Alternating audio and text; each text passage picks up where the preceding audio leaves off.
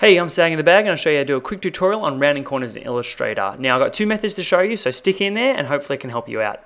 First method, hit your rectangle tool. Draw a rectangle or a square, which whatever your preference is.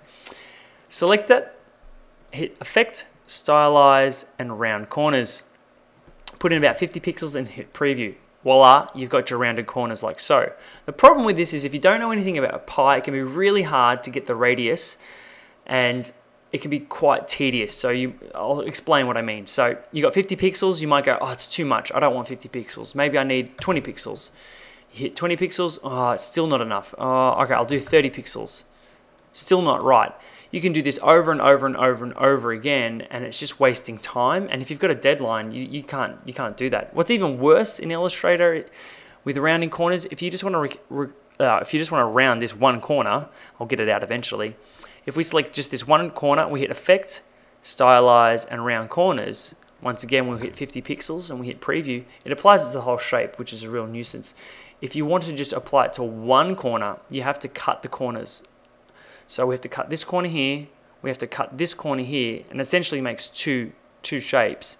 And then we select this corner here, we hit Effect, Stylize, and Round Corners.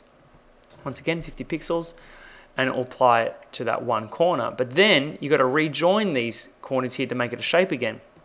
It's a real pain and it just takes up too much time. What I really recommend is you go to the webs, the interwebs, and you get VectorScribe by Astute Graphics. Totally worth it. It'll save you a buttload of time. It only costs, I don't know, is it 49 pound plus a VAT of something? I don't know, a backwards E, $59 E yen. I don't, I don't know what that is. Someone will tell me.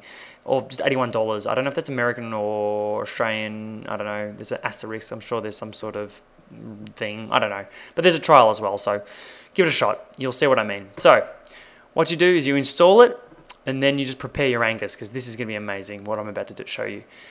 Draw your rectangle or your square. We'll go rectangle again. And once you've installed it, you get these new little buttons here. We want to click on this button here. It's called the Dynamic Corners tool. Click that. Then on your shape, click your corner and drag. Oh yeah, we've got rounded corners that we can easily adjust by just dragging. I can see what you're saying. Oh my God, how have I done this? How have I gone this long doing all my work without this tool? I don't know either. I said the same thing once I discovered it, but it's fantastic. You can also move your corners as well by alt clicking. Oh yeah. So that's it.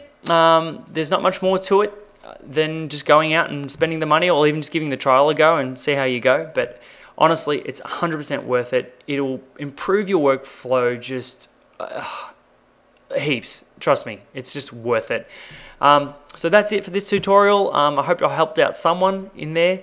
If you guys need help with anything in Illustrator at all, by all means, leave a comment and I'll get around to it and I'll show you how to do what you want to do and we'll go from there. So you know the drill. Like, subscribe down below, and I'll see you guys next time. See ya. Bye.